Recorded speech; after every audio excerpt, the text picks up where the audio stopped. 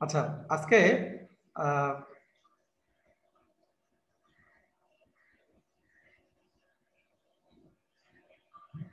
তোমাদের জীববিজ্ঞান বিষয়ে দ্বাদশ অধ্যায় থেকে জেনেটিক ডিসঅর্ডার সম্পর্কে আমি আলোচনা করব। তার আগে আমি একটু তথ্য জেনে নেই। গত ক্লাসে তোমাদের কতটুকু পড়ানো হয়েছিল দ্বাদশ অধ্যায়ে? মেহেদি। স্যার ডিএনএ পড়ানো হয়েছিল। ও তাহলে তো একটু গ্যাপ হয়ে গেছে। তো বেশ কিছু ফাঁকা পড়ে আছে তো শুধু ডিএনএ পড়ানো হয়েছিল? স্যার ডিএনএ আরএনএ এইগুলাই পড়ানো হয়েছে। ওই স্যার এইভাবে পড়াইছেন। আচ্ছা তোমার মেন্ডেলের সূত্র? না সম্ভবত। তাহলে তো একটু মুশকিল আছে। আচ্ছা যাই হোক আমরা তাহলে ওখান থেকে একটু শুরু করে দিই বাবা। তো জেনেটিক ডিসঅর্ডার আমরা একটু পরে শুরু করি। আগে আমরা প্রথমত যে বিষয়টা নিয়ে আমরা আলোচনা করি যে ডিএনএ কি? ডিএনএ রেপ্লিকেশন কি? এগুলো বিষয়গুলো একটু ধারণা থাকা দরকার আমাদের। ডিএনএ আমাদের দ্বিসূত্র বিশিষ্ট পলিনিউক্লিওটাইডের সুরপিলাকার গঠন। এখন নিউক্লিওটাইড কাকে বলা হয়? নিউক্লিক অ্যাসিড আর আমাদের যে এর অসংখ্য পলিমার যদি পরস্পরের সঙ্গে সংযুক্ত থাকে, তখন সেটাকে আমরা নিউক্লিওটাইড বলি। তুমি কি দেখতে পাচ্ছ স্কেল মেহেদি? জি স্যার। আচ্ছা তোমাদের বন্ধুদেরকে একটু মেসেজ দাও সবাই যেন জয়েন করে। আমরা অনলি মাত্র কয়েকটা ছেলে পেলে নিয়ে ক্লাস করতেছি। এটা একটু হেজার আমাদের জন্য। বেশি বেশি ছাত্র সংযোগ সংযুক্ত হওয়া দরকার। আমরা মাত্র তিনজন হিমাংশু মেহেদি আর রোহি। আমরা তিনজন আছি মাত্র। একটু গ্রুপে একটু মেসেজ দেব গ্রুপে লিংক দিছি। আচ্ছা থ্যাংক ইউ মেহেদি। তো আমরা ডিএনএ হলো আমাদের দ্বিসূত্র বিশিষ্ট পলিনিউক্লিওটাইডের সুরপিলাকার গঠন। তো এখানে আমাদের নিউক্লিওটাইড বলতে আমরা সেটাকে যদি আমরা রাসায়নিকভাবে বিশ্লেষণ করি, তাহলে আমরা যে অবস্থাটা পাবো সেটা হলো একটা বেস পাবো, একটা নাইট্রোজেন গঠিত বেস বেস প্লাস হলো সুগার এটার নাম বলা হয় নিউক্লিওসাইড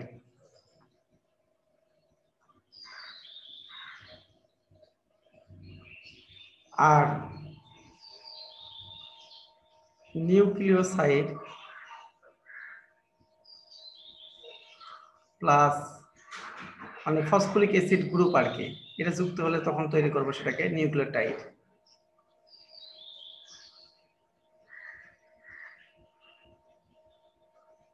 আর এন সংখ্যক নিউক্লিওটাইড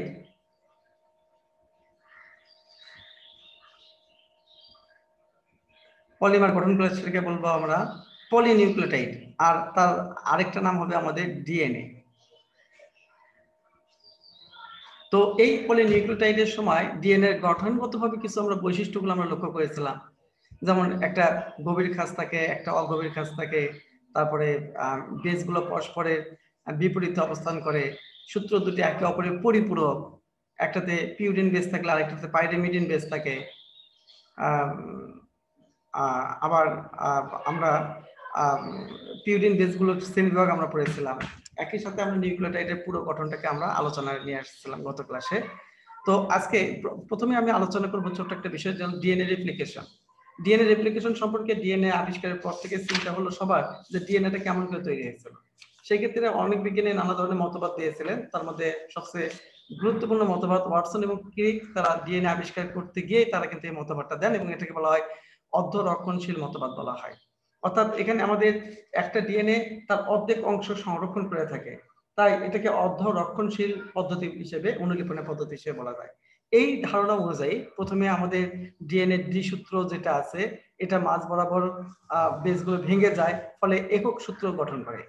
আর একক সূত্র গঠন করার পরে প্রতিটা সূত্রে তার পরিপূরক সূত্র তৈরি করে নেয়। পরিপূরক সূত্র বলতে এই পাশে যদি আমাদের অ্যাডিনিন থাকে, তাহলে তার বিপরীত পাশে দুইটা হাইড্রোজেন বন্ধনের মাধ্যমে থাইমিন যুক্ত হবে। আবার অ্যাডিনিনের সঙ্গে একটা সুগার যুক্ত হবে। আবার সুগারের সাথে আমাদের থাকবে হলো আমাদের ফসফরিক অ্যাসিড গ্রুপ যুক্ত থাকবে। তো এই যে বিষয়গুলো, এভাবে তৈরি হবে আর কি। আবার এখানে থাইমিনের সঙ্গে একটা সুগার থাকবে ডিঅক্সি রাইবোজ সুগার থাকবে এবং তার সঙ্গে আমাদের একটা ফসফরিক অ্যাসিড গ্রুপ থাকবে। তো এই যে বিষয়গুলো, এটা কিন্তু আমাদের এক পাশে যখন ভেঙে যাবে, মাছ বরাবর যখন ভেঙে যাবে, তখন এই পাশ থেকে অ্যাডেনিন যেহেতু আছে, তাহলে এই পাশে যে নতুন সূত্র তৈরি হবে, সেখানে তৈরি হবে আমাদের, আহ থাইমিন থাকতে হবে সেখানে। তার মানে পরিপূরক সূত্রটা তৈরি হয়ে যাচ্ছে। এবং দুই পাশে থেকে নতুন সূত্র তৈরি হয়ে যায়। এবং তোমরা উচ্চতর ক্লাসে গিয়ে এর সম্পর্কে আরও কিছু ডাটা তোমরা জানতে পারবে। যেমন আমাদের ল্যাগিং স্ট্যান্ড আর লিডিং স্ট্যান্ড দুটো শব্দ আছে। একটা সূত্র সরাসরি হয়, আর একটা খন্ড খণ্ড করে হয় আর কি সূত্র কেন হয় সে বিষয়ে আমরা ব্যাখ্যাগুলো পরবর্তী ক্লাসে আমরা জানতে পারব। তাহলে এভাবে আমাদের নতুন দুটো দ্বিসূত্র ডিএনএ গঠন হয় এবং প্রতিটি সূত্রের মধ্যে দেখব একটা পুরাতন শ্বাস আর একটা নতুন, একটা পুরাতন এবং একটা নতুন। এভাবে আমাদের নতুন ডিএনএ সূত্র আমরা পেয়ে যাব। এখন আমাদের মূল বিষয়টা হলো যে, তাহলে আমরা ডিএনএ অনুলিপন পদ্ধতি আমরা জানলাম, সেটা হলো অর্ধ রক্ষণশীল ডিএনএ অনুলিপন পদ্ধতি। এরপর আমাদের আরেকটা ছোট্ট বিষয় আমাদের ছিল এখানে, মানুষের লিঙ্গ নির্ধারণ লিঙ্গ নির্ধারণের ক্ষেত্রে আমরা একটা খুব গুরুত্বপূর্ণ বিষয়, তোমাদের বইয়ে ছবিটা দেওয়া আছে, মানুষের অটোজোম আছে বাইশ জোড়া, তার মানে চুয়াল্লিশটি অটোজোম, আর সেক্স ক্রোমোজোম হলো এক জোড়া, তার মানে মানুষের ক্রোমোজোম সংখ্যা কিন্তু, ক্রোমোজোম সংখ্যা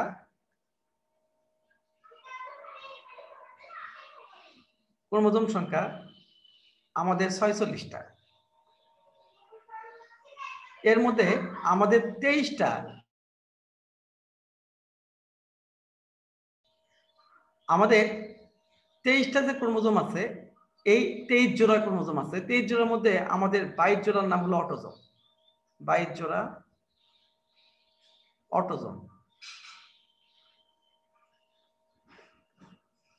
আর এক জোড়া আমাদের সেক্স ক্রোমোজোম।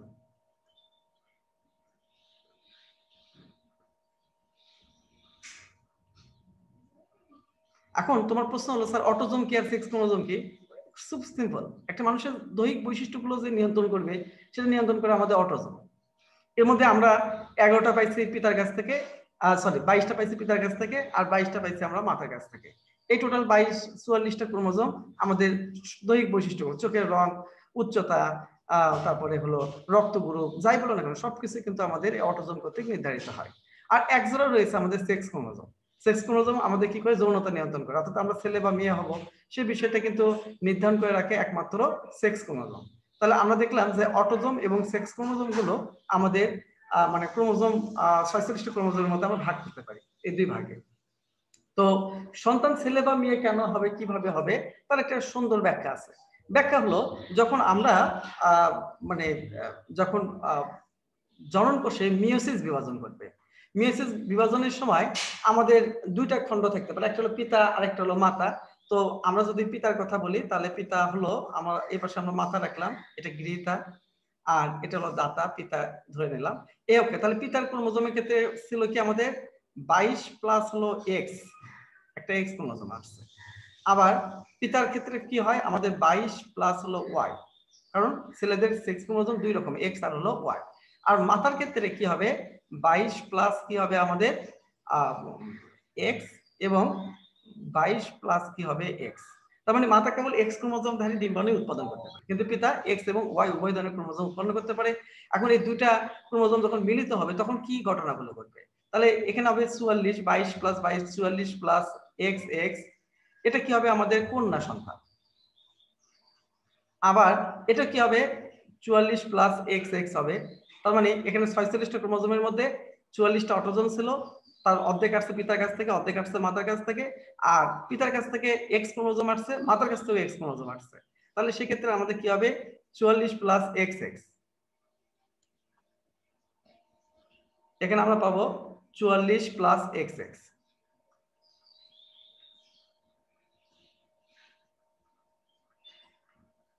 বলতো বাবা, এটা কি হবে? সন্তান কি হবে, কন্যা না পুত্র হবে? মেহেদি। পুত্র। না একটু খেয়াল করো। ও স্যার কন্যা হবে। কন্যা সন্তান হবে একটু খেয়াল করো।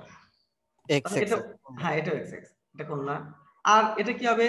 চুয়াল্লিশ প্লাস কি হবে আমাদের এক্স ওয়াই এটা কি হবে আমাদের পুত্র? পুত্র। আর চুয়াল্লিশ প্লাস হলো আমাদের এক্স ওয়াই এটাও পুত্র। তাহলে পুত্র এবং কন্যা হওয়ার সম্ভাবনা কিন্তু ফিফটি ফিফটি ইটস ইন্টারেস্টিং এটা আমরা এখনও পর্যন্ত আমরা আবিষ্কার করতে পারিনি কীভাবে পুত্র সন্তান হবে আর কীভাবে কন্যা সন্তান উৎপন্ন হবে। তবে সেটা একেবারে দৈব ঘটনা। ঠিক আছে? যদি সৃষ্টিকর্তার বিশ্বাস করি, তাহলে বলব সৃষ্টিকর্তার ইচ্ছায়। আর যদি কেউ বিশ্বাস না করে, তাহলে সে বলবে দৈব ঘটনা, যে যার সাথে যেটা মিলিত হবে, সেটাই সুযোগ আর কি। তবে কন্যা সন্তান জন্মদানের জন্য মাতা কিন্তু সরাসরি দায়ী নয়, এই বিষয়টা আমাদের জানতে হবে। যে কন্যা সন্তান মাতা কেবল এক্স ক্রোমোজোমই বিশিষ্ট ডিম্বাণু উৎপাদন করতে পারে, কিন্তু পিতা এক্স এবং ওয়াই উভয় ক্রোমোজোম বিশিষ্ট ডিম্বাণু উৎপন্ন করতে, শুক্রাণু উৎপাদন করতে পারে। তাহলে কোন শুক্রাণুর সাথে মিলিত হবে, তার উপর নির্ভর করবে আমাদের সন্তানের লিঙ্গ। তাহলে সেক্ষেত্রে আমরা যদি বলি, তাহলে সেক্ষেত্রে আমরা যদি বলে থাকি যে কন্যা সন্তান যেহেতু মা, তাহলে মেয়েটাও মা হলো কন্যা সন্তান হলো একই তারা ফিমেল জেন্ডার তাহলে আমরা ধরে নিলাম যে তাহলে মাতাই বোধহয় দেয়, মোটেও না। তাহলে মাথা কেবল আমাদের একটা এক্স ক্রোমোজোম ধারণ করতে পারে মাথায় কখনো ওয়াই ক্রোমোজোম উৎপাদন করতে পারে না। এবং সন্তানের ক্ষেত্রে জেন্ডার ডিসক্রিমিনেশন এটা কিন্তু আমাদের একটু ভাবার প্রয়োজন আছে। আমরা লিঙ্গ বৈষম্য কোনো বিষয় না, এটা সৃষ্টিকর্তা প্রদত্ত, আল্লাহ তালা প্রদত্ত একটা বিষয়। আমি ছেলে অথবা আমি মেয়ে হয়েছে, এটা আল্লাহর ইচ্ছাই ছিল। তাহলে সুতরাং সেক্ষেত্রে আমাদের নতুন চিন্তা নতুন অভিব্যক্তি দিয়ে আমরা হয়তো ভাববো, আমরা হয়তো চিন্তা করতে থাকব, সেটা কিন্তু কখনোই গ্রহণযোগ্য হবে না। আমাদের সর্বদা চিন্তা করতে হবে, সৃষ্টিকর্তা যেমনটা ইচ্ছে করেছেন, সে তেমনটাই আমরা পেয়েছি। সুতরাং আমাদের ব্যক্তিগত ইচ্ছায় এখানে কোনো কিছু নির্ধারিত নয়। আমি লম্বা হইলাম অথবা আমি কালো হইলাম অথবা আমি ফর্সা হইলাম, সেক্ষেত্রে আমাদের ব্যক্তিগত কোনো ইচ্ছা, আকাঙ্ক্ষা থাকে না। তাহলে আমি মানুষ হিসেবে যখন নিজেকে বিকশিত করতে পারব, মানবিক গুণ সম্পন্ন একজন মানুষ হতে পারব, সেটাই হলো আমার সার্থকতা, সেটা নিয়ে আমি প্রাউড করতে পারি, গর্ব করতে পারি। কিন্তু এই সৃষ্টিকর্তার যে বিষয়, গাত্রবর্ণ অথবা উচ্চতা, এগুলো নিয়ে আমরা কখনো অহংকার করা যাবে না। সুতরাং এগুলো নিয়ে কাউকে ফোটা দেওয়া যাবে না, কাউকে মনে আঘাত দেওয়া যাবে না, এটা কিন্তু আমাদের সবাইকে খেয়াল রাখতে হবে। আমরা সৃষ্টিকর্তার মানে আমাদেরকে এইভাবে তৈরি করেছে। সুপ্রিয় শিক্ষার্থী কিন্তু আজকে ক্লাসে যদি আমরা কিছুই না শিখি, এটা অন্তত আমরা শিখব যে লিঙ্গ বৈষম্য এবং বর্ণ বৈষম্য, যে বৈষম্যগুলোর কথা বলি, যেটা প্রাকৃতিক ভাবে আমরা পেয়ে থাকি, আল্লাহ তালা আমাদেরকে দিয়েছিলেন। সেই রকম বৈষম্যগুলো নিয়ে আমরা কখনোই অন্যর সঙ্গে বিতর্কে অথবা অন্যকে কষ্ট দেওয়ার চিন্তা ভাবনায় আমরা যাব না। ডিয়ার স্টুডেন্ট আমাদের সন্তানের লিঙ্গ নির্ধারণ। এই চেকের বোর্ডটা তোমাকে খুব সুন্দরভাবে তোমার উত্তরে সাহায্য করতে পারে।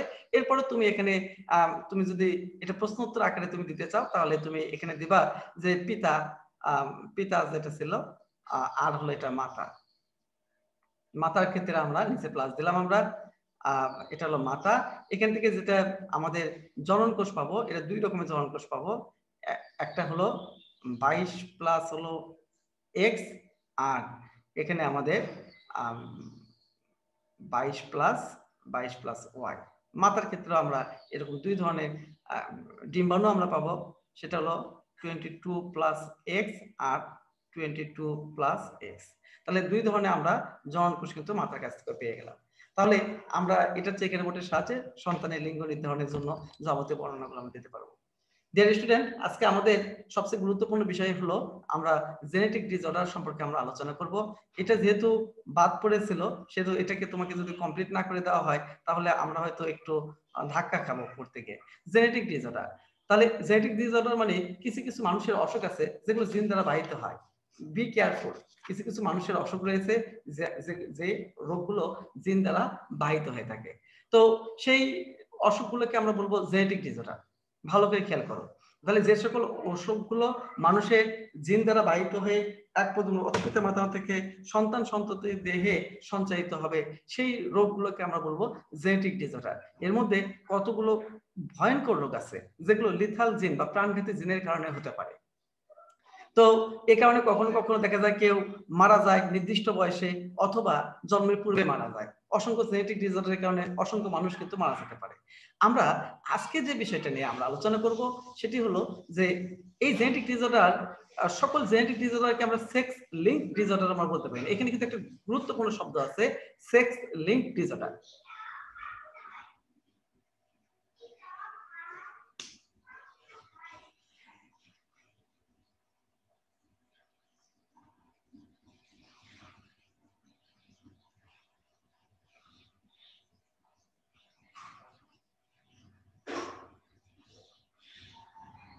এখন দেখো ডিসঅর্ডার ডিসঅর্ডার মানে অসামঞ্জস্যপূর্ণ সাজানো যেটা, সেটাকে বলে ডিসঅর্ডার ঠিক আছে? তাহলে যৌনতার যে ক্রোমোজোমটা আছে, সেই ক্রোমোজোমে অস্বাভাবিকতাকে আমরা বলব সেক্স লিঙ্ক ডিসঅর্ডার মজা বিষয় হলো, সকল সেক্স লিঙ্ক ডিসঅর্ডার কিন্তু আমাদের এক ধরনের জেনেটিক ডিসঅর্ডার এটাকে আমরা জেনেটিক ডিসঅর্ডার হিসেবে আমরা আখ্যায়িত করতে পারি। তবে বিশেষ ধরনের জেনেটিক ডিসঅর্ডার তাই এর বৈশিষ্ট্য, এর প্রকাশ সম্পূর্ণই স্বাভাবিক জেনেটিক ডিসঅর্ডার থেকে আমাদের আলাদা। তোমাদের বইয়ে দুই ধরনের রোগের কথা বলা হয়েছিল। একটা হলো কালার ব্লাইন্ডনেস যেটা ছিল জেনেটিক ডিসঅর্ডার এবং সেক্স লিঙ্ক ডিসঅর্ডার অপরটা ছিল আমাদের অপর যে রোগের কথা বলা হয়েছে, সেটি ছিল থ্যালাসেমিয়া এবং এই থ্যালাসেমিয়া শুধুমাত্র জেনেটিক ডিসঅর্ডার কিন্তু সেটা সেক্স লিঙ্ক ডিসঅর্ডার নয়। তাহলে আমরা বিষয়টাকে একটু পরিচ্ছন্ন হওয়ার চেষ্টা করি যে সকল আমাদের sex link disorder genetic disorder বলতে পারি, কিন্তু সকল জেনেটিক ডিসঅর্ডারকে আমরা সেক্স লিঙ্ক ডিসঅর্ডার বলতে পারি না। তার মানে বলা হয়েছিল যে এই জেনেটিক ডিসঅর্ডার কেন হয়ে থাকে? তোমাদের বই সুন্দর একটা লাইন দেওয়া আছে, কিছু জিনগত অসুখ আছে যেগুলো মিউটেশনের ফলে হয়। এবং যেগুলো আমাদের স্বাভাবিক জিনে যখন মিউটেশন ঘটবে, তখন সেটাকে আমরা বলব জেনেটিক ডিসঅর্ডার যদি কোনো কারণে সেটা সেক্স ক্রোমোজোমে মিউটেশনটা ঘটে থাকে, সেটাকে বলব আমরা সেক্স লিঙ্ক ডিসঅর্ডার বলব আর কি। এখন আমাদের বিষয়টা হলো সেক্স লিঙ্ক ডিসঅর্ডারের একটা ভয়ঙ্কর তথ্য আছে। সেটা হলো, আমরা যারা, পুরুষ যারা, তাদের ক্ষেত্রে দেখব, সেখানে লক্ষণীয় বিষয় হলো আমাদের সেক্স ক্রোমোজোম হলো কি ছিল? আমাদের এক্স ক্রোমোজোম আর একটা হলো Y chromosome believe it or not X ক্রোমোজোমটা আকৃতিতে অনেক বড় হয়। তার মানে এক্স ক্রোমোজোম আকৃতিতে অনেক বড় হয়ে থাকে এবং এখানে অনেকগুলো জিন সে বহন করে। শুধুমাত্র লিঙ্গ নির্ধারণই নয়, তার সঙ্গে আরও কিছু জিন সে বহন করতে পারে। বাট অপরদিকে ওয়াই ক্রোমোজোম কখনো খুবই ছোট আকৃতির হয়। ওয়াই ক্রোমোজোমের আকার অত্যন্ত ছোট। যে কারণে যদি কোনো কারণে এক্স ক্রোমোজোমে ধরো অনেকগুলো জিন আছে, আমি কালার দিয়ে দিচ্ছি। ধরো এই রেড কালারটা একটা খারাপ জিন। আবার সরি একটু কপি করে নিই, তাহলে একটু ভালো হবে।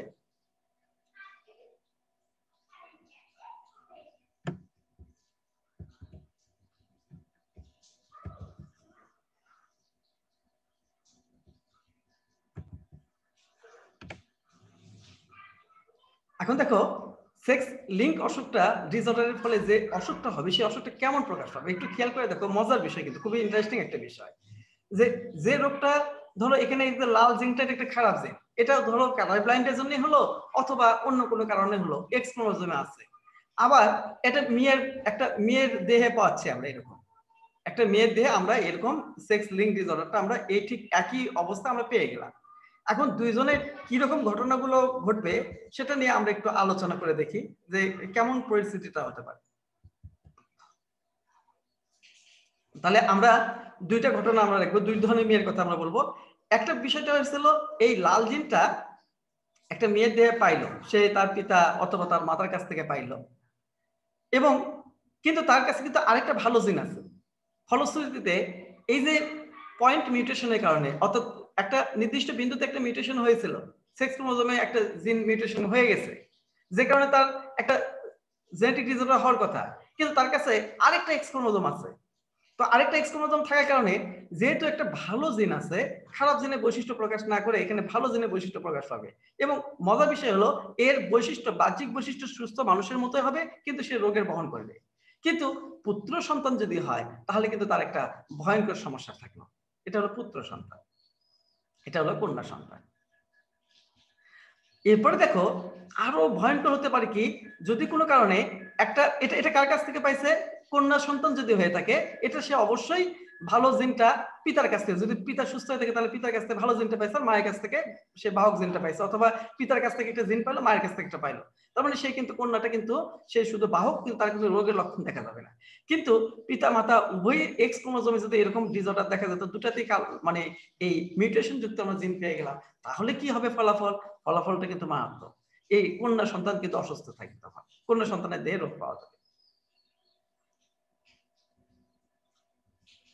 এটা আমাদের কন্যা সন্তানের ক্ষেত্রে আমরা রোগের লক্ষণ পাবো। এটা কন্যা। তাহলে এই কন্যাটা কিন্তু আমাদের অসুস্থ, এটা বাহক। এটা অসুস্থ আর এ হলো বাহক আর এই পুত্রটা হলো আমাদের অসুস্থ। তার মানে পুত্রের রোগ হওয়ার সম্ভাবনা অনেক বেশি, কন্যাদের ক্ষেত্রে এরকম রোগ হয় না। মজার বিষয় দেখো টাক মাথা এটা কিন্তু আমাদের একটা জেনেটিক ডিসঅর্ডার এটা ছেলেদের হয় বেশিরভাগ ক্ষেত্রে। কন্যাদের এই কন্ডিশন খুব কম আসে, তাই খুব কম পরিমাণে দেখা যায়। এখন দেখো, এই পুরো বিষয়টাকে আমরা খুব সহজ করে ব্যাখ্যা করার চেষ্টা করি। একটা পানিটি স্কোয়ার সাহায্যে আমরা একটু পুরো বিষয়টাকে একটু ব্যাখ্যা করার চেষ্টা করি। ধরে নাও যে এটা এটা তাহলে আমরা জানলাম যে কালার ব্লাইন্ডনেস কি? আসলে বলা হয়েছিল যখন কোনো কেউ রং সঠিকভাবে চিনতে পারে না, সেটাই হলো কালার ব্লাইন্ডনেস বা বর্ণান্ধতা আমরা একটা রোগ সম্বন্ধে পড়ব কালার ব্লাইন্ডনেস বা বর্ণান্ধতা। সে বর্ণ দেখতে পারে না ভালো মতো তোমার বই কিন্তু একটা সুন্দর ছবি দেওয়া আছে, সেখানে একটা শখ দেওয়া আছে, একটা সংখ্যা লেখা আছে। তো আমাদের এখানেও দেখা, এখানে একটা শখ দেওয়া আছে, সংখ্যা দেওয়া আছে, চুয়াত্তর লেখা আছে, আমি দেখে বুঝতে পারতেছি। যে কালার ব্লাইন্ড সে কিন্তু এটা, এই সংখ্যা সে পড়তে পারবে না।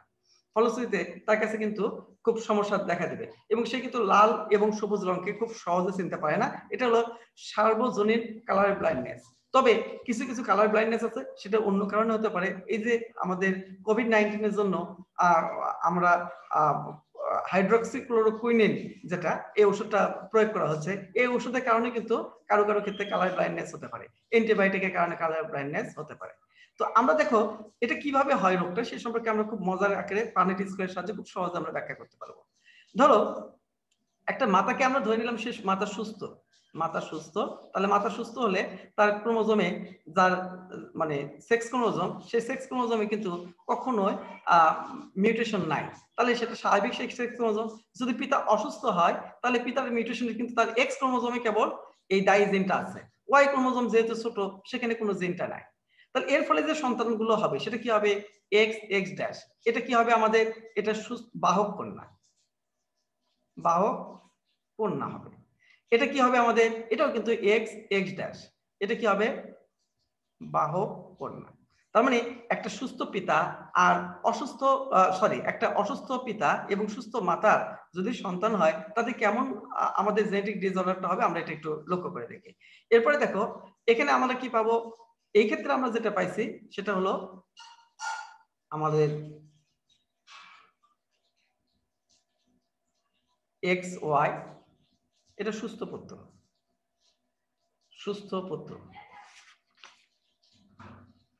এটাও কিন্তু আমাদের এক্স ওয়াই হচ্ছে একটু খেয়াল করো মানে এক্স পক্ষ থেকে একটা আসবে ওয়াই অক্ষ থেকে একটা আসবে। মানে উলম্ব খাড়া আর সমান্তরাল দুই জায়গা থেকে দুইটা যাবে। গিয়ে আমাদের এই অবস্থাটা দেখা যায় আর কি।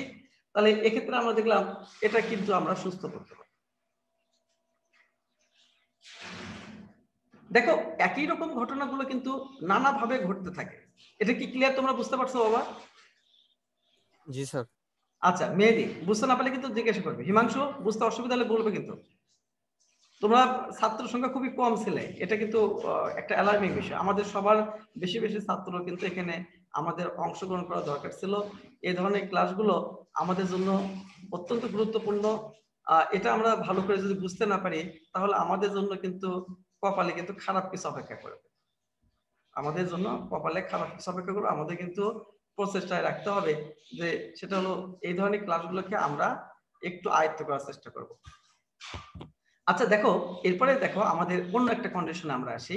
কন্ডিশনটা হলো এবারে আমাদের মাথা বাহক মাতা বাহক তাহলে মাতার ক্ষেত্রে একটা ক্রোমোজোমে কি একটা ডিম্বাণুতে আমরা কি পাবো?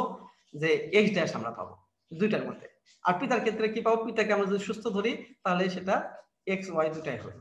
এখন এই ক্ষেত্রে কি কন্ডিশন হবে? দেখো এক্স এক্স এটা ছিল আমাদের পুত্র আর এটা হলো এক্স এক্স ড্যাশ এটা হলো আমাদের কন্যা এটা সরি এক্স এক্স এটা ছিল কন্যা এটা ছিল সুস্থ কন্যা। এটা সুস্থ কন্যা সরি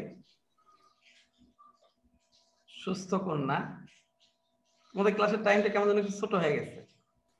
এই ক্লাসগুলো একটু লম্বা হলে ভালো হতো। আর এটা হলো আমাদের এটা হলো বাহক কন্যা। বাহক কন্যা। এটা আমাদের এক্স ওয়াই, এটা হলো সুস্থ পুত্র,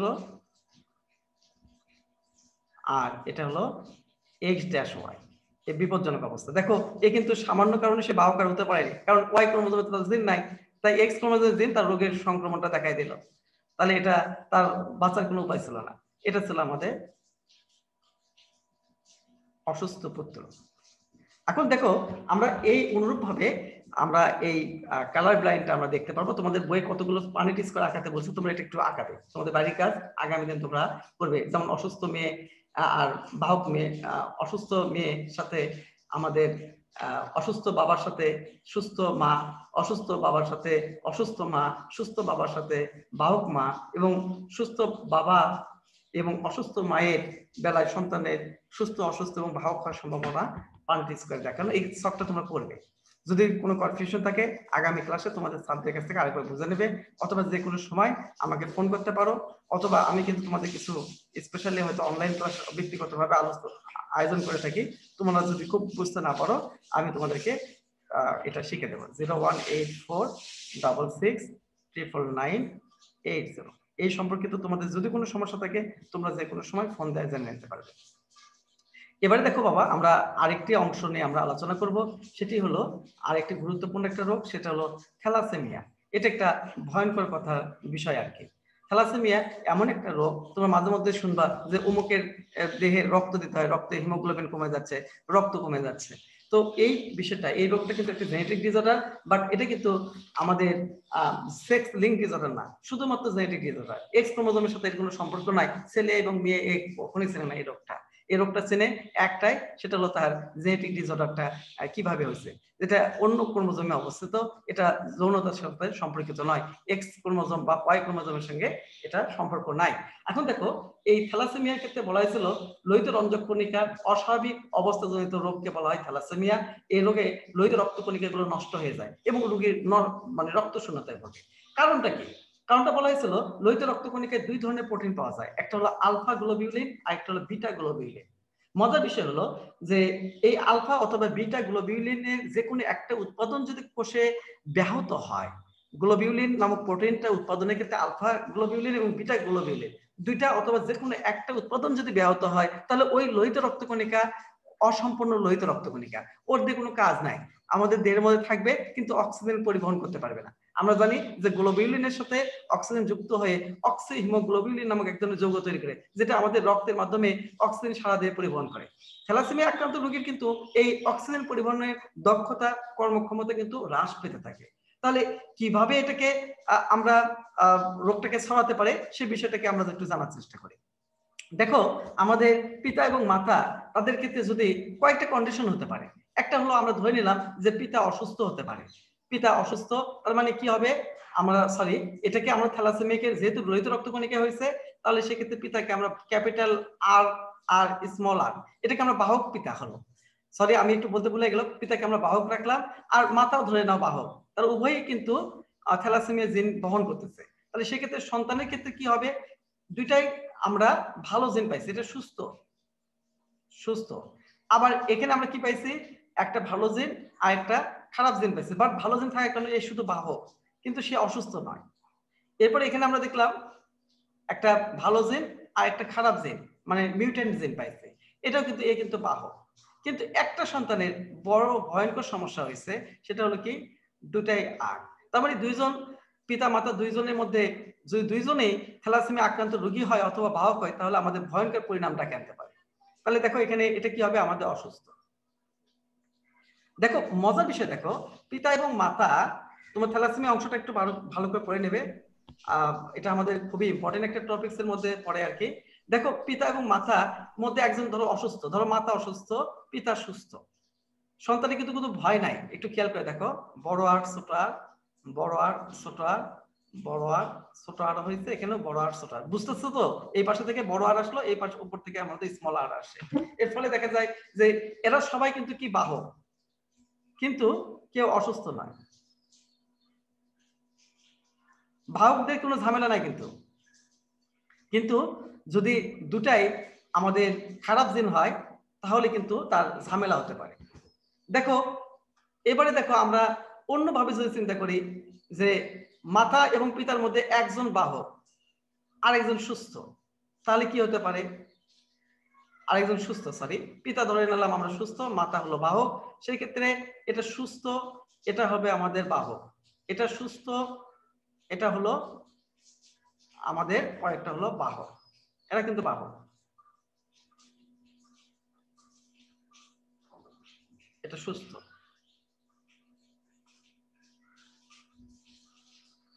তাহলে আমরা এই থ্যালাসেমিয়া রোগের ক্ষেত্রে আমরা বলতে পারি যে মাতা এবং পিতার মধ্যে যে কোনো একজন সুস্থ হলে সন্তানে কখনো রোগাক্রান্ত হওয়ার সুযোগ নাই। কিন্তু মাতা এবং পিতা উভয়ই অসুস্থ অথবা বাহক হলে তাহলে সন্তানের ক্ষেত্রে রোগের সংক্রমণ হতে পারে, রোগটা দেখা দিতে পারে। সুপ্রিয় শিক্ষার্থীবৃন্দ, আমাদের সময় প্রায় শেষ, একেবারে লাস্ট মোমেন্টে আমরা চলে এসেছে। এখন তোমাদের এই সম্পর্কিত যদি কোনো তথ্য জানার প্রয়োজন থাকে তোমরা জিজ্ঞাসা করতে পারো। বুঝতে যদি কোনো অসুবিধা হয়।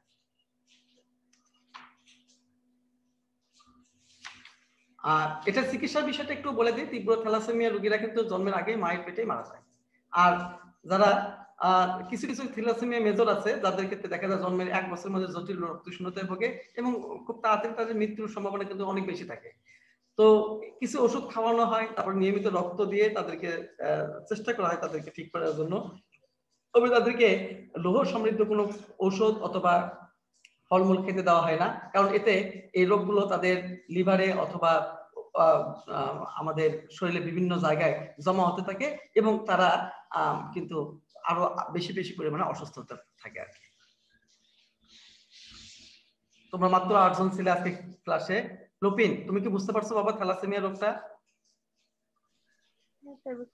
আচ্ছা তাহলে থ্যালাসেমিয়া রোগ আমাদের প্রতিহত করতে হলে আমাদের কি করা উচিত? তোমরা কি আমাকে ধারণা দিবে? আমাদের কি কাজ করা উচিত? প্রথম বিষয় কিন্তু আমি খুব গুরুত্বভাবে বলি, সেটা হলো কাজিনদের মধ্যে বিবাহ সম্পর্ক স্থাপন করা যাবে না। এক নাম্বার। নাম্বার দুই, আমাদের মানে বিবাহের পূর্বে আমাদের কিন্তু আমরা পরিণত বয়সে, অর্থাৎ সেই সময় আমরা কিন্তু কিছু পরীক্ষার মাধ্যমে ডাক্তার চিহ্নিত করতে পারবে। সেটা স্বামী এবং স্ত্রী উভয়ই পরীক্ষা করে নিতে হবে। মানে ভবিষ্যতে যারা স্বামী স্ত্রী হবে, বিবাহ বন্ধন আবদ্ধ হবে, তাদের ক্ষেত্রে এই বিষয়টা ভালোভাবে ধারণা নেওয়া দরকার। তাছাড়া থ্যালাসেমিয়া আক্রান্ত হয়ে আমাদের একটা পরিবার বলো, আর পুরো সমাজটাই বলো, তাদের ক্ষেত্রে একটা বড় ধরনের বোঝা তৈরি হবে। এ ধরনের আক্রান্ত রোগীদের সেবা, তাদের চিকিৎসা করা, সেক্ষেত্রে আমাদের কিন্তু সব দিক দিয়ে বাধাগ্রস্ত। সুপ্রিয় শিক্ষার্থীবৃন্দ আজকে ক্লাসটা আমরা এখানে শেষ করতেছি। আশা করি তোমরা ভালো থাকবে সুস্থ থাকবে। করোনাকালীন সময় নিরাপদে থাকি ভালো থাকি। আগামীতে কঠোর লকডাউন হবে আমরা সবাই বাসায় থাকব পরিবার পরিজন সবাইকে বলবে বাসায় থাকার জন্য। আল্লাহ হাফেজ তোমাদের সাথে আগামী ক্লাসে ইনশাল্লাহ দেখা হবে। আল্লাহ হাফেজ। আসসালামু আলাইকুম স্যার। ওয়ালাইকুম আসসালাম।